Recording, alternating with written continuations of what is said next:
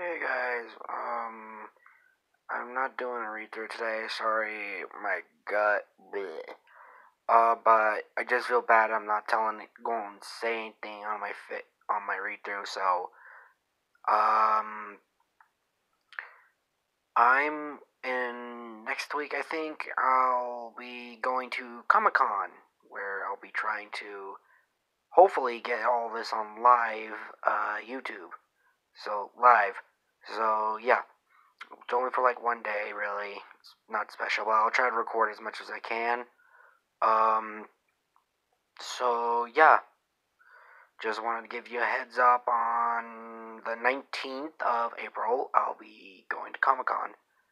Have enough money, I can go. the The one day ticket is like 20 bucks. So yeah. Um. Just to let you know. Okay, guys. Peace out.